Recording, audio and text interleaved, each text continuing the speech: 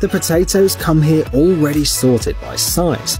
The first step of the production is a machine wash. Then the potatoes are sent for peeling. Small batches of tubers end up in a special drum with ribbed sharp walls. The potatoes are evenly peeled while they rotate inside. Cutting each potato takes just a few seconds thanks to these grates, through which the tubers are pushed. Next, the potatoes are sifted so that short and uneven pieces are removed from the batch. Then, the batches are treated with dextrose, a natural sweetener that gives them the characteristic golden color when fried. Also, the fries are treated with sodium pyrophosphate to preserve their bright color during the shipping stage.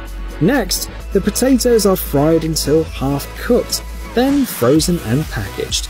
These are the packages that are sent to the restaurants. The shelf life of these frozen potatoes is 12 months, but because of the high demand, they're cooked much earlier.